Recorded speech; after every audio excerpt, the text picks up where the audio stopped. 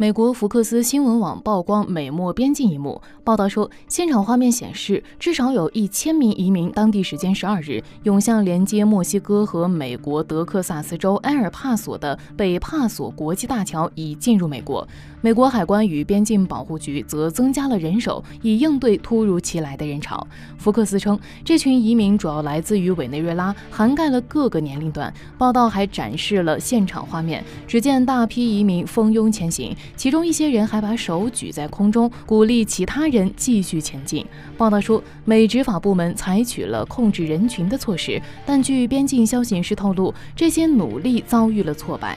美国海关与边境保护局增加了该地区的人手，而墨西哥军方也试图控制大桥另一侧的局势。据央视新闻此前报道，埃尔帕索是美国重要的边境城市，这里的北帕索国际大桥口岸是美国最繁忙的。口岸之一。根据统计，在疫情前，每年有超过一千万人在这里进入美国。